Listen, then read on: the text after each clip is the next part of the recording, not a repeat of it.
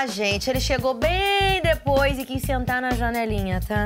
Ele movimentou muito o jogo e pode até não ter vencido o programa, mas saiu com um grande título. O último romântico do BBB 22, Gustavo B. Ah, agora sim. Último romântico, esse Último é o melhor romântico. adjetivo. Pô, bom demais, bom demais. Porque o penúltimo foi o Lucas. E é verdade, é verdade.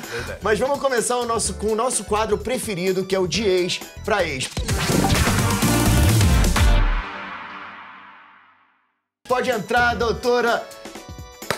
Tô zoada, Vai ter que se brincadeira. contentar comigo mesmo. É um quadro que é o quê? De ex-BBB pra ex-BBB. Ah, entendeu? Só tem Entendeu? eu. O Bruno nunca Peguei, teve esse peguei. privilégio, Gustavo. É, nunca teve, nunca boiando. teve. Não sabe o que é viver. Não sabe o que é viver um bom BBB. Então a gente vai dar uma analisada ali nas coisas que você viveu dentro do Big, do Big Brother ou o que aconteceu dentro da casa e aí a gente vai zoar. Então vamos lá, faz. gente. Primeira situação.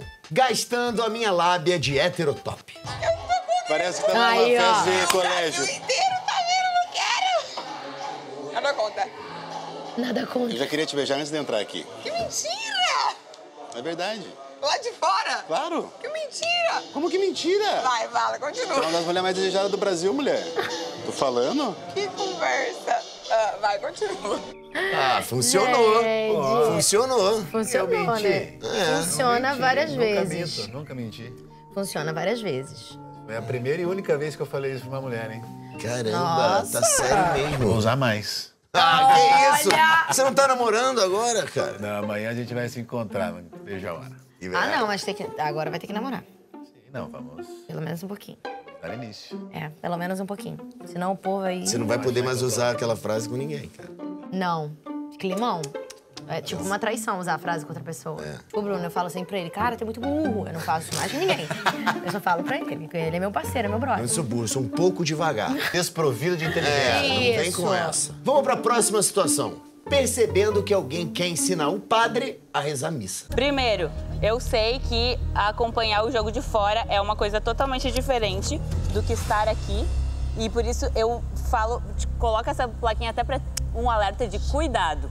Estar aqui é muito diferente da visão que tu tem lá fora como espe- telespectador. A, a Bárbara, eu queria ter tido mais convivência Contato, com né? ela na casa ali. Eu acho que seria legal pro jogo, porque... Pra vocês dois, não sei.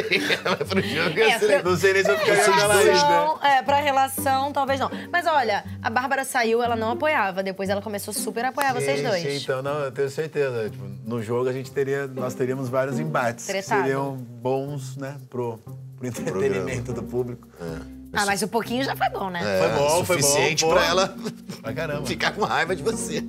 Por que, que você acha, Gustavo, que as pessoas ficavam tão incomodadas? Não é, é- não é incomodadas, é assim. Elas ficavam reativas. Você cutucava em pontos certos, convenhamos. É a coisa mais óbvia de todos os Big Brothers, gente. Você coloca quem não vai ao paredão, você coloca quem não aparece na casa. Porque se essa pessoa não for colocada por ninguém, ela chega na final. É, o mais óbvio. Por que, que as pessoas ficavam tão reativas, cara? Então, mas eu, eu entendo, né? Porque se a pessoa tá ali na sombra tomando uma aguinha de coco, tu vai lá e É. tira a sombra.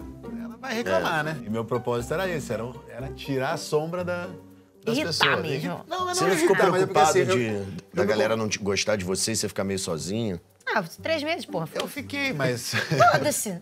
Exatamente. Não, é, você conseguiu fazer amizade. É, não, mas ele fez, mas se ficasse assim, sozinho. Eu já, claro que eu, eu cheguei lá e calhou igual. Chegou, eu não me intitulei caçador de lollipops. É, eu acho que foi um, Te deram um, um esse adjetivo título. que me deram. Eu, eu ganhei esse título. E- mas é porque calhou que as pessoas que estavam escondidas no jogo eram as do lollipop. O- os meninos As DG estavam né? estavam sendo- estavam indo pro paredão. As comadres estavam indo pro paredão e no Lollipop ali não, não, não, não tinha muitos, não. Então eu nunca tive medo de ficar sozinho, não. Porque eu sabia que um, dois... Alguma me- tampa tem pra panela, É, exato. Aí ele exato. arrumou, e Não precisa de muita tampa. não. Opa, É. que tampa. Quando bate a saudade da morena. Olha ela aí.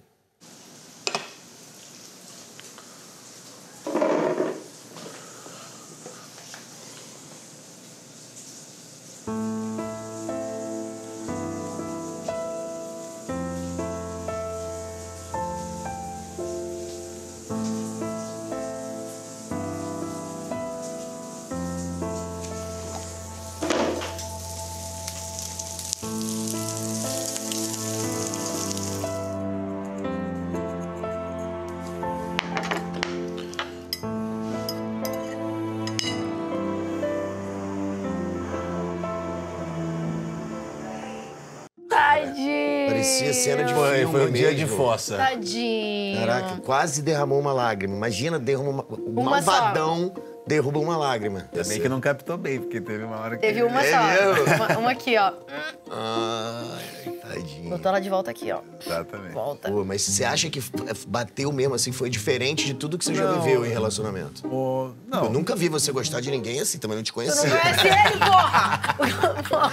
Tô zoando, cara. Ou não, realmente eu não tive relacionamentos muito longos, né? O meu maior relacionamento foi, teve dois anos, então não não sou Não, um, muito tempo. um expert em, Uma, dois anos em é...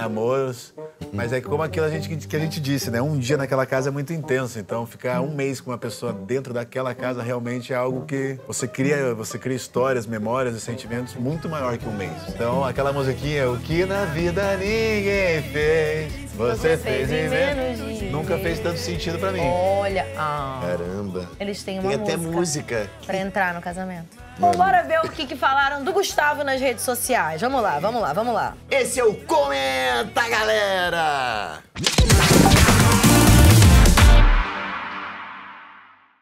O cachorro do Vasco tinha muitas expectativas de te ver ganhando o paredão falso. Ele falou: ele é top, ele é hétero, ele vai colocar todo mundo na chipa, ele vai acordar todo mundo seis da manhã, ele vai deixar todo mundo sem água. Eu imploro Gustavo no paredão falso. Com a fotinha do craque do jogo. A galera queria Pô, mesmo. craque do jogo, fico feliz. Também Você queria ia causar me- muito mesmo? Ah, com certeza. Eu acredito até que o Arthur causou também, porque eu tinha uma diferença com o Arthur, que eu, apesar de eu ser o malvadão, eu tinha bom relacionamento com todos da casa. Então, na verdade, o Arthur até fez mais sentido eu ir pra esse paredão falso, porque quando ele volta, a cara das meninas. É maravilhoso. É maravilhoso. É maravilhoso. Se eu volto, é capaz das meninas irem lá e me abraçar. Porque daí ficaria muito. né? É, mas eu acho que talvez o pós seria É, interessante ver sim, como você se comportar sim, e ver o que sim. você ia escutar também. Não, pô, queria muito ter participado. Eu vi poucas cenas do. do da quarto, dinâmica, né? mas parecia. Bem legal. foi bem eu acho que legal foi um dos melhores quartos que já tiveram de paredão falso. Pouco que Eu, vi. eu acho que foi, tipo, o mais top mesmo. É, de Pô, pra poder conforto. mexer de conforto, pra poder mexer com a casa. Aham. Tecnologia. Tinha aviso de, tipo, estão falando de vocês, isso é uma parada que não teve ainda na- na- em outras edições. Eu achei bem legal. É. Me- Esse programa é pica! Não tem pra ninguém! É demais, Que isso. É, e agora o Alexandre mandou. Gustavo, maior arco de personagem da temporada. E a gente esperava que ele ferisse os 500 direitos humanos e o cara simplesmente virou o último romântico. Só tava falando que eu tinha, que eu sou hétero, que é uma opção que não- isso nem deve ser levado em conta. E que eu tenho qualidades tops que eu acho que vocês puderam ver ali. Que eu sou um cara fiel, sou um cara confiável, sou um cara romântico, sou um cara amigável, também erro, acerto. Tio do pavê. Tio do Tio do pavê, pavê pô. total. Muito, muito É, tio do Agora, pavê. será que é o seu tamanho que assusta a galera, assim, de repente? Ah, tem, tem um pouco disso. O pessoal fica meio intimidado. É, às vezes eu É, utilizo. eu tô, brother. Pô, tu- tu- tu- pô, Eu tô... caraca, isso que tu tá baixando pra falar com a gente. tô- Tu é Caraca. canceriano, né? Sou. Por isso que ele é o último dos românticos. Façam em novembro pra nascer em julho e ser romântico. Não, Não, aí é tipo... não, não. Laís, Não? forças. Mas eu não sou ciumento, não. Não sou... Mas é emocionado. Ih, eu não gosto de emocionado, não. Tem que Não ser gosto. alto, mas não pode ser emocionado. Não. Muito difícil agradar ela. Muito. Mas olha, uma das coisas mais procuradas na internet foi a sua altura. Inclusive, Ana Clara procurou. Não, Mentira, idiota, publicaram hoje. Olha. Desculpa, Não desculpa. começa. A Laís veio aqui e falou pra gente, pra gente. Ó, falou, a gente pescou isso dentro dela e ela confirmou que vai que vocês casam ali em julho. Ah, rapidão. Uh, nossa, começaram a namorar. Uh, caraca, noivou. Ah, meu Deus, casou. A gente que tá louco pra ir no casamento, né, Bruno? Sou emocionado? É. Mas é o teu jeitão. A gente respeita. Olha, a Zanandra falou: Eslovênia e Gustavo brigando, tem uma energia de pai de saco cheio, tendo que aguentar birra de filha adolescente. Era exatamente assim. Só- não só com a Eslovênia, eu diria. Era exatamente assim. Vocês tinham muito essa energia de, de, de briga de pai e filha. Pô, a Slo é uma pessoa que eu, falei na, na- na primeira festa, eu já falei pra ela, falei, Slo, lá fora eu quero, quero tomar umas com você. É. Mas era Porque ela muito no jogo bem. da discórdia. Bebe bem. É. Ela eu derruba, olhava na TV aquele jeitão fácil. dela com a garrafa e blá, blá, blá. Caraca. Pô, eu falei, é de verdade isso mesmo? Nossa, eu queria Era muito um nos jogos da, dis- da discórdia, assim, que vocês tinham Na embates. verdade, eu só, é que eu puxei ela. No meu primeiro dia na casa, eu já tive o jogo da Discord que puxo a Eslovênia. Que Eu falo que ela não tem palavra porque ela fez a promessa que não ia votar em, E votou. em pipoca e votou em dois pipocas. E ainda tiveram gente que tiveram a pachorra de falar aquela tia palavra. O tribunal do júri tinha que cancelar aquele júri ali, tava É, totalmente imaculado. terrível. Mas e aí, ali, claro, já- ela já falou, pô, chegou um cara que vai me, me pegar de alvo. Só que depois eu não falei mais dela. Claro, eu falava com outras circunstâncias, mas eu sempre usava o jogo da discórdia pra falar de pessoas diferentes. Eu também não queria ficar batendo É, claro, batendo na mesma tecla. Não é. Olha, o Breno falou, ele se emocionou. Gustavo saiu do BBB pra entrar pra história. Me odeia porque é planta. Se fosse top, andava comigo. Essa, essa foto aí é tua cara. Boa, Brenão. Isso Muito aí. boa. Esse é o Cara, espírito. Você falou, chamou a Jess de planta ao vivo, era a única coisa que ela não queria Mas ser ela é chamada. bióloga, ela gosta de Bióloga planta. não é planta. Não, ele chamou ela de flor. Não, mas ele, Ele falou, falou que ela ele falou plantinha depois. É. Falou plantinha. Ela, ela, a, gente, a gente viu as duas primeiras semanas. A plantinha. Eu e Bruno, a gente não tem nada a ver com isso. Eu também, eu, olha, pra mim você é ser humano. Planta é um ser vivo, pô. É, Pô, querendo valorizar a planta. É verde. Tudo que é verde é bom. é verdade. Palmeiras, natureza, dinheiro. Para, pa, parará. Pa, pa, tarará. Because I got, because I got, because I got. Galera, o Diga TBT não. BBB de hoje chegou ao fim. Muito obrigado, Gustavo, por entrar nas nossas brincadeiras, tá? Por ter aturado a Ana Clara. Ah, Eu que Bruno. agradeço. Pelo amor de Deus. Não, Todo você mundo vai hoje embora tava daqui e fala, ácida. porra, Bruno é foda, Você cara. É impossível de ácida encontrar hoje. com ele de Vou novo. até pegar um tóxico ali naquele saquinho que eu tenho de monte. Gustavo, Eu? vou pegar o teu saco ali e vou dar um chute nele. Que isso? Vai ver. Ela adora um, saco, uma- um trocadilho de saco. Ela adora pegar num saco.